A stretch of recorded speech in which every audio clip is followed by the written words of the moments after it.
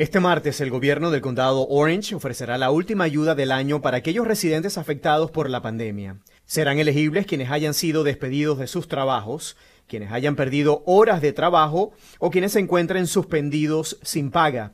En esta oportunidad, el programa de ayuda aceptará las solicitudes de varios miembros de un mismo grupo familiar. Si perdiste el trabajo, si le bajaron las horas o si le dieron el layoff, usted puede cualificar, pero algo muy importante hoy es que también, si, por ejemplo, yo fui afectada, pero también mi esposo, otros familiares que viven en la misma casa pueden aplicar para, la, para, los, ah, para los fondos. Muchas aplicaciones han sido rechazadas debido a que las personas no presentan todos los requisitos que exige el condado. Recuerde que para iniciar el proceso, usted debe presentar un documento que compruebe que su trabajo ha sido afectado por la pandemia. Necesitamos saber un documento de su trabajo eh, explicando si le dieron de alta o si le bajaron el horario.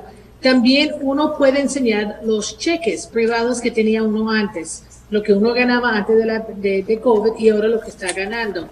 De verdad le digo a la gente, y no se olvide tampoco los IDs, toda la información necesaria para poder cualificar. Procure tener todos los documentos a la mano para cuando se abra oficialmente el portal este martes 8 de diciembre a partir de las 8 de la mañana. Esta va a ser la última oportunidad que tenemos antes del fin de año y vamos a aceptar 20.000 aplicaciones. Por su parte, la ciudad de Orlando también ofrece un programa de asistencia para el pago de alquileres. El proceso de preselección permanecerá abierto hasta el próximo 15 de diciembre o hasta que se agoten los recursos.